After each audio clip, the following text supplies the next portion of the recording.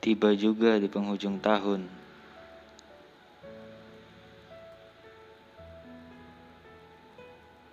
Kamu mungkin kehilangan banyak di tahun 2019.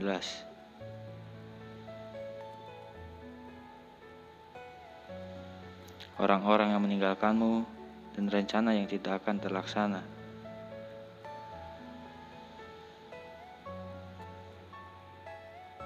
Tapi percayalah, di tahun 2020 ini Tuhan akan membalikan keadaan.